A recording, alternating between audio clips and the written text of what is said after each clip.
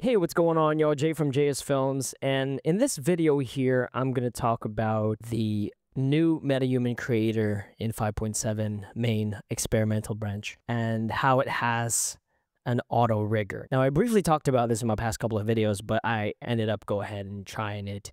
So let me go ahead and kind of show how this works. So I have here the just a regular template. I just opened it up. And if I go to the conform panel right here, we can now import a DNA, or you can do a regular identity from like your phone, MHA. But if you go from the template, you're going to see that we can actually import meshes here. Just right behind me, there's a window that says Asset Mesh. In the mesh, I'm going to type in head, and I have this static mesh here that I got from Exomorph. I've been using 3D Scan Store for so long, way before Medium and Identities, and they are top notch quality. James is amazing. Uh, they do great work. So I'm testing this out now. You probably recognize her from my Alien movies.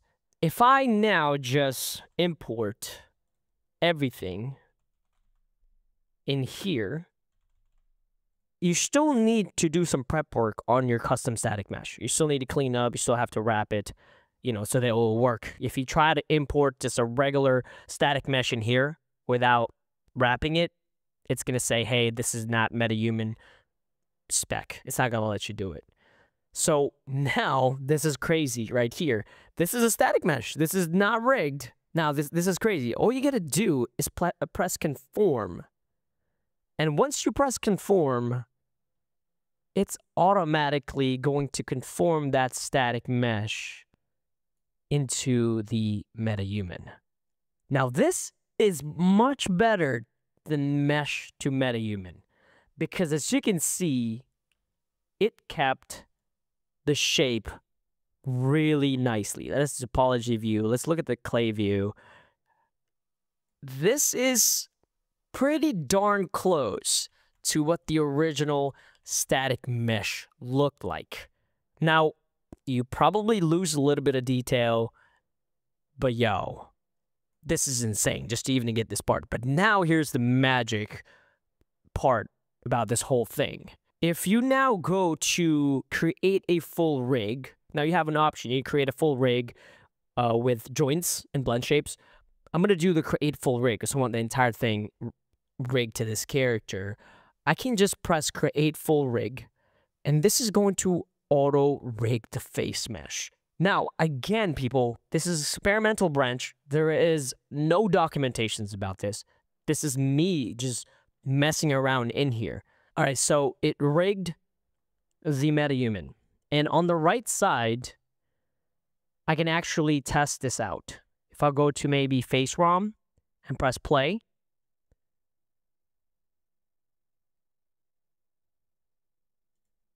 And let's go with skin. This is going to apply like a regular skin.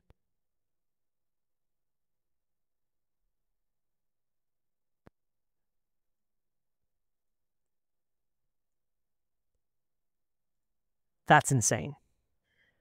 Now, why is this a big deal, Jay? Well, now you're cutting the extra step of needing a tool to rig a custom MetaHuman. All you have to really do now is do some prep work to get your mesh in spec and click auto rig.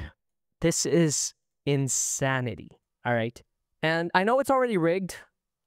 For us to kind of change the material and whatnot, we'll have to remove the rig as far as I know. So you can see everything is locked up. So let's let's remove the rig. I just wanted to show you kind of like how to auto rig it, but let's apply some textures on this, you know, just to kind of see what it looks like. So now we're back to the neutral face and we now have some textures to play around with. You know, you can make it your own. And again, what's crazy about this here is that it works really well with the face texture indexes here. You can even add some freckles. Know, I can do like three or four and look for something that will look good for this. I'm actually going to do a video later showing you kind of like all the different face textures. But even just like this here, and this is only 1K face texture that it's showing. I'll show it to you in 8K. And speaking of, by the way, whenever this does assemble a full metahuman, it's only capping out a 2K. So I'm kind of still trying to mess around with it. I'm not sure if that's a bug or not, even if you download 8K textures. The final metahuman itself is only 2K on the face. I mean, you can customize the metahuman fully, but you know, change the eyes and stuff. Let's change it with like a freakish blue eye. Look at that. That's kind of creepy. Or maybe a green one.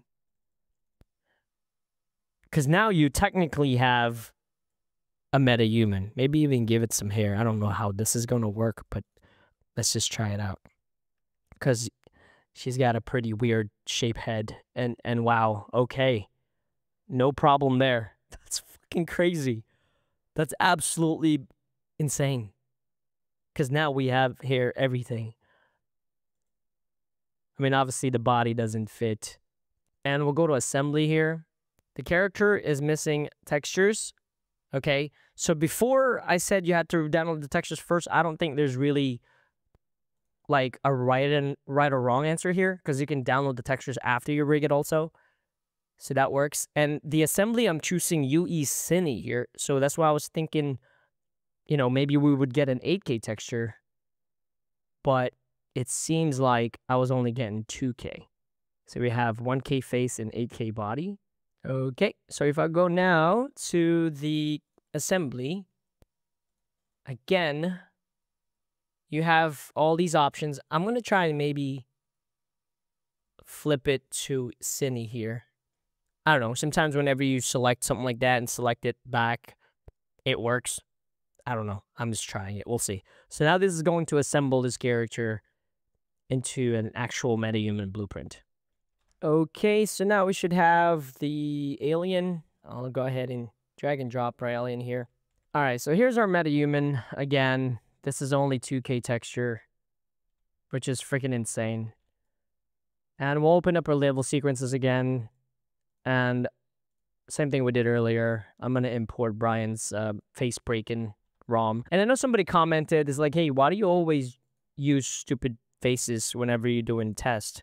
Well, if you're only using regular metahumans and you're not using like custom metahuman heads, it's okay. You don't have to do, you know, ROMs like this, like extreme ROMs. But if you're doing custom metahuman heads, like I've been doing, you got to.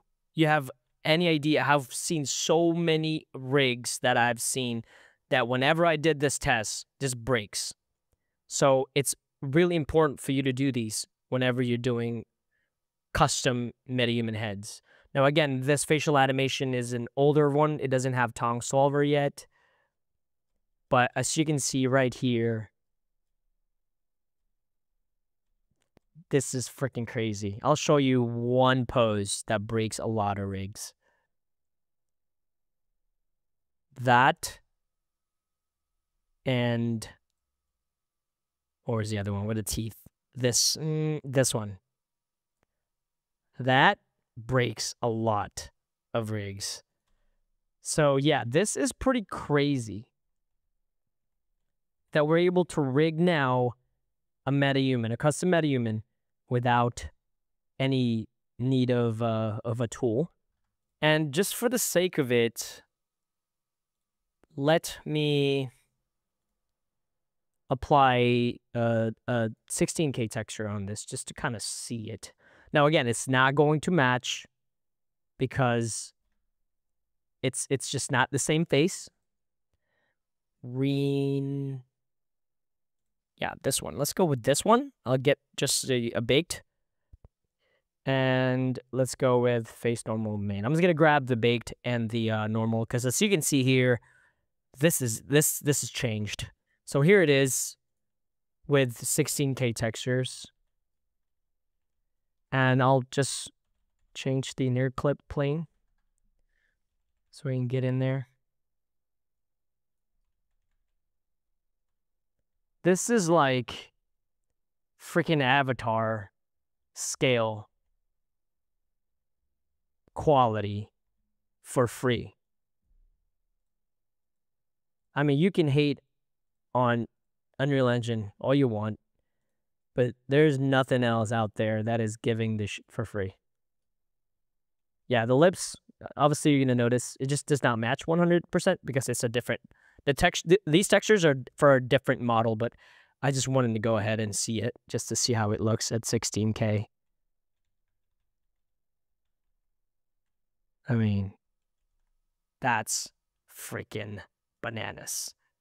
But yeah, if y'all want me to keep making MetaHuman videos for the new update, let me know in the comments below. It helps with the engagement and actually started to push my videos back because it's just been gone. Like the the algorithm's been pushing a lot of negativity videos instead of tutorial videos out to the viewers.